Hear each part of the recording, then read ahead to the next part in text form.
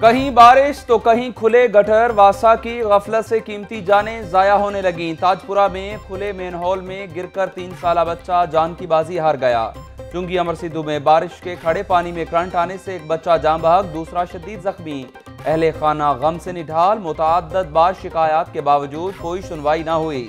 اہل علاقہ حکام کے خلاف ہٹ پڑے۔ ایم ڈی واسا کا نوٹس، انکوائری کے لیے کمیٹی تشکیل۔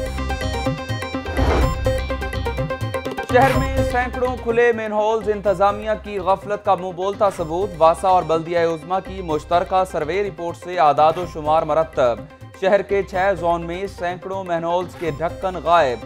متعلقہ اداروں کی غفلت پر مبنی رپورٹ لاہور نیوز منظر عام پر لے آیا۔ ایل پی جی کی زائد قیمتوں کے خلاف رکشہ یونین کا شہر میں جگہ جگہ احتجاج، پہلے بابو صابو پھر ٹوکر نیاز بیگ اور کلمہ چوک میٹرو ٹریک پر دھرنا۔ مظاہرین نے احتجاجن رکشہ جلا دیا۔ شدید نعرے بازی ایل پی جی کی قیمتوں میں کمی اور پرچی فیس ختم کرنے کا بھی مطالبہ۔ مطالبات پورے نہ ہوئے تو ملک گیر رکشہ جلاؤ تحریک چلائیں گے۔ Chairman rickshaw union Majid Ghauri کی دھمکی۔